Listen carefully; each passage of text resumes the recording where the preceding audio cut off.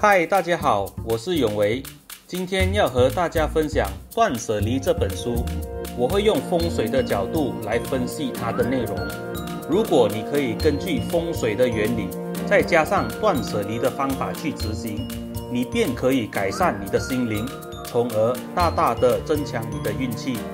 第一次来的朋友，这个是个提供风水有关知识的频道，有兴趣的话就订阅以及打开小铃铛吧。这样你就会看到我以后的影片了。《断舍离》这本书的作者山下英子，通过瑜伽以及佛教的原理，创造了这个断舍离的概念，教大家如何透过收拾自己家的环境，改善我们的心灵以及生活。这本书出版的当时也轰动了日本社会，很多人也因此改善了他们的生活。那么你可能会问？这只不过是普通的收拾我们的家而已，没什么特别的。其实，断舍离的含义是更深的。很多时候，我们整理我们的家时，有很多东西都是把它们收拾到抽屉里、柜子里，或者是床底下，觉得东西看不见就好了。根据作者，这只不过是把我们的物品改变了它的形态或者位置。对我们的心灵上是没有改变的。断舍离要我们做的是：第一，断绝与我们没相关的物品；第二，就是把不需要的物品舍弃；第三，脱离对这些物品的执念。在我们的日常生活中，商家总是会想尽办法让我们消费者多买一些他们推出的产品，于是。就推出了很多优惠，比如双十一优惠、圣诞节优惠等等。有时候消费者会因为折扣而买多了一些不需要的产品，这些产品就慢慢的累积在我们的家中，久而久之就越堆越多，变成了杂物。所以我们要在买任何东西之前，就要思考我们到底需不需要。如果不需要的话，就不要买。这就是要断绝我们不需要的物品。注意看看我们的衣柜，我们平时穿的衣服其实也是几件而已，但是我们会发觉到很多衣服都没有穿，甚至已经不适合穿了。在这个时候，我们就要执行舍弃，那就是把没有用的衣服丢掉。我们也可以把它送给人，或者捐给有需要的人。书中也有提到，我们日常生活中百分之二十的物品，也足以应付百分之八十的日常需求了。我们要重新评估我们对物品的关系。举个例子，有很多人的厨房都是有很多一次性的筷子，但是。这些筷子往往都不会被使用，所以这些不需要的筷子应该要把它们丢掉。有些人会把比较好品质的碗碟收起来，不舍得用，自己却用这一些旧的碗碟，就是因为这种心理，使得我们无法享受高品质的生活。我们一个人最多只能够用两到三个碗，一双筷子就足够了。为什么我们厨房还是满柜子的碗碟、筷子呢？书里的建议是，我们要把多余的送给人或者丢掉，只留着好品质的物品使用，提高我们的生活水平。那么，我们为什么要断舍离呢？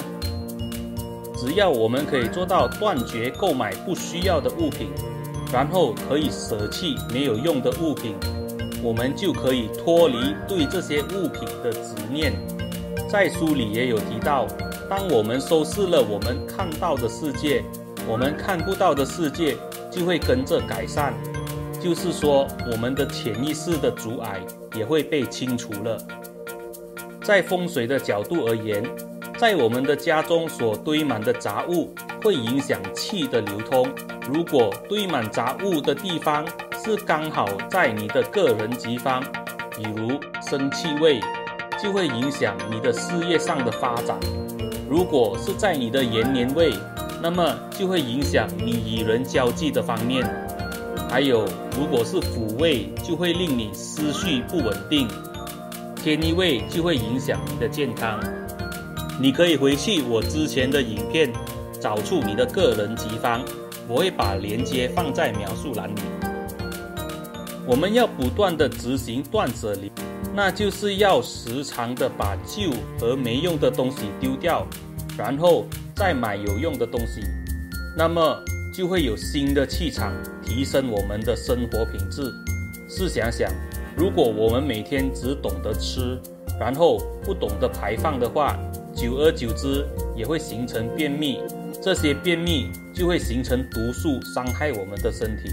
就好像我们不收拾的杂物，也会变成不好的气场，影响我们的思绪，从而间接影响我们的决定与生活。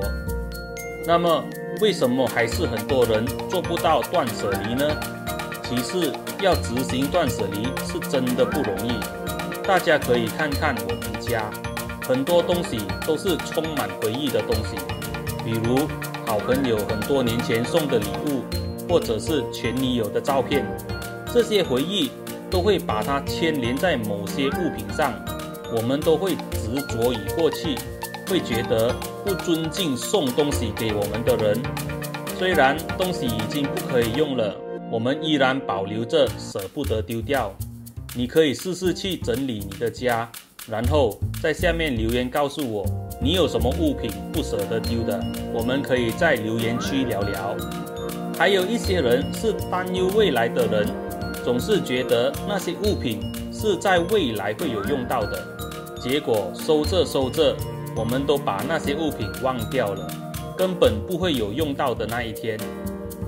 执行断舍离，就是要自己有潜意识的去清除我们的个人障碍，不要过于执着我们的过去，也不要太过担忧未来。如果我们真的做到了断舍离，也代表着我们突破了我们心理上的过于执着以及过于担忧，抛开了这些执着与担忧，我们就会活得更自在、更轻松。执行断舍离要用七五一法则，那就是看不到的地方，比如抽屉或者是柜子里面，我们可以摆放七分满的东西；看到的地方，比如玻璃柜，只可以摆放五分满的东西；而要摆设物品，比如墙壁上要挂的照片或者是山水画，只可以一幅墙一个画。这样就可以确保足够的空间，让气可以流通。好的东西要来，也有空间允许它的到来。如果我们所有的物品都是我们精挑细选出来的高品质物品，那么我们也是提升了我们的生活品质。如果我们扩张断舍离这个概念，到筛选我们身边的朋友。我们多一点以正能量的朋友，会支持以及为我们加油的朋友来往，那么你觉得你的人生会更好一些吗？你可能会觉得家里太多东西很难收拾，或者是没有时间。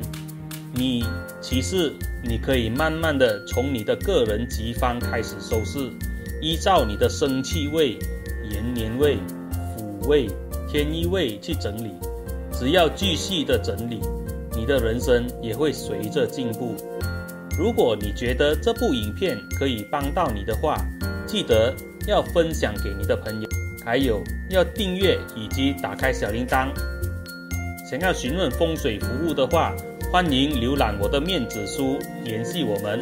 我们下个星期见。